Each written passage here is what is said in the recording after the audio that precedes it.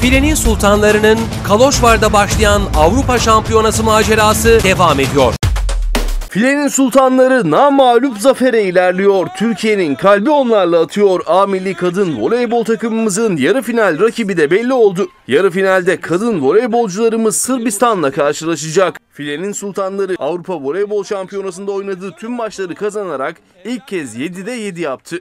Rakiplerine ise sadece 2 set verdi. Tüm Türkiye'nin kalbi de onlarla atıyor. Herkes onlarla gurur duyuyor. Kadın voleybolcularımızın yarı final rakibi de belli oldu. Çeyrek finalde dün Fransa'yı yenen Sırbistan yarın milli takımımızın yarı final rakibi olacak.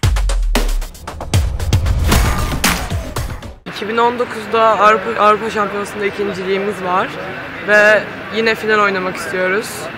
Yine ben gönülden istiyorum ki finali tekrar Sırbistan'la oynayıp Sırbistan'da Sırbistan'ı yenmek çünkü onlar bizi Ankara'da kendi seyircimizin önünde yenmişlerdi.